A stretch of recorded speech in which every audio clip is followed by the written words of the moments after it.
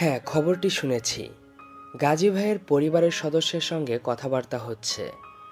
আকস্মিকভাবে দুঃসংবাদটি পেলাম। এত বড় শোক নেওয়া ভীষণ কষ্টকর।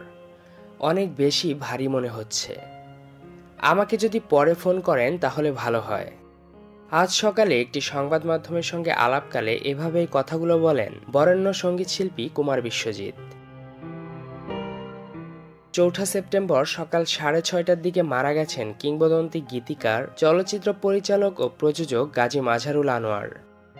সঙ্গীতাঙ্গনের জন্য শিল্পীদের মতো তার চলে যাওয়া মেনে নিতে পারছেন না কুমার বিশ্বজিৎ। অভিব্যক্তি প্রকাশ করতে গিয়ে এসব কথা বলেন এই শিল্পী। গাজী মাঝারুল আনোয়ার এক ছেলে ও এক মেয়েকে রেখে গেছেন। তার মেয়ে দিঠি আনোয়ার একজন কণ্ঠশিল্পী। বর্তমানে দেশের বাইরে আছেন। মেয়ে দেশে ফিরলে গাজী মাঝারুল আনোয়ারের দাফন সম্পন্ন হবে বলে জানিয়েছেন ছেলে সারফরাজ আনোয়ার।